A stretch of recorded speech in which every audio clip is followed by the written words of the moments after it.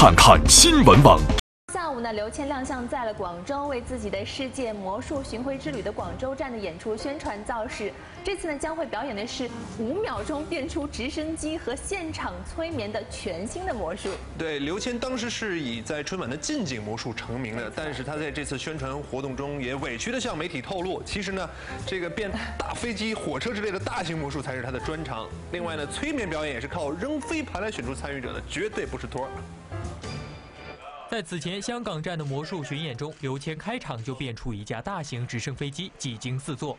而此次来到广州，刘谦也确认将会在演出中保留此项目，在五秒钟内变出直升机，给观众们最大的视觉冲击。特别就是这一次会在台上呢，在五秒钟之内变出一台直升机，是真的直升机。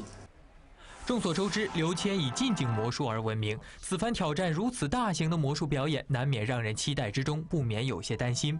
不过，刘谦表示，其实大型魔术才是自己的专长，而让他扬名全国的春晚表演，却因为受场地所限而不能称之为自己的最得意作品。来表演的一直都是大型魔术，我一直以来都表演都是很大型的魔术，只是在春晚上表演的是近景魔术，所以大家对我的印象都停留在那个上面。但实际上，如果有机会来看现场演出的话，其实因为场地很大，所以表演魔术大部分还是大型的魔术的。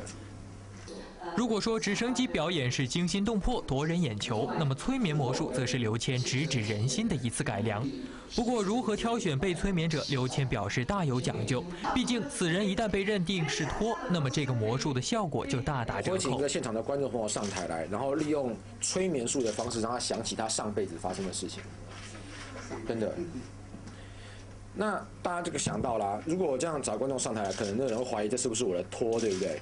所以为了避免大家会有这一层疑虑呢，我会现场会丢这个飞盘到观众席去，接到观众就上台来，所以证明的完全是随机挑选的观众。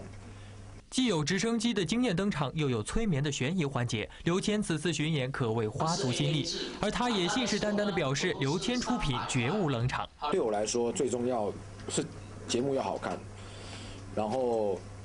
能够感动人心最重要的，那我可以相信，就是从头到尾，大概有一百分钟的演出，从头到尾，每一分钟都不会有人场。娱乐新天地陈杰广州报道。